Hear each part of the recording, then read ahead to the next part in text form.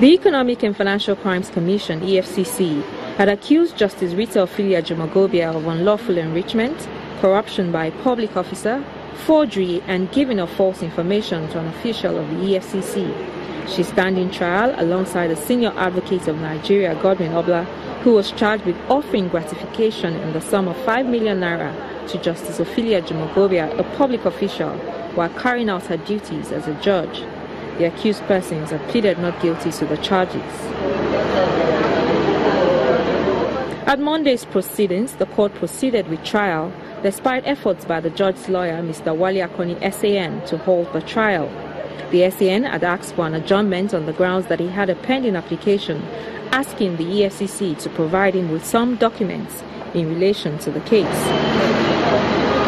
The prosecution witness told the court how Justice Ofili-Ajumogobia approached his bank, Diamond Bank, to open a corporate account for her company. Upon verification, the bank found out that the address she gave for the company was an uncompleted building. The witness, however, said the bank went ahead and opened the corporate account for the company in good faith because of the defendant's position as a federal high court judge and also because the property belongs to her.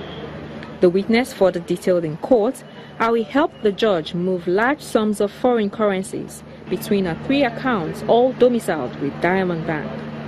The defense counsel declined to comment on the day's proceedings, but the prosecuting counsel did.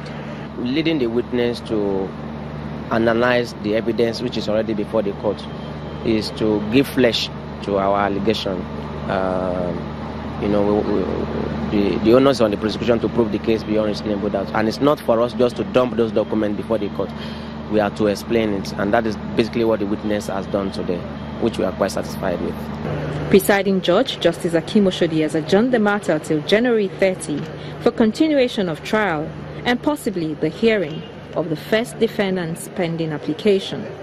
Shola Shieli, Channels Television News.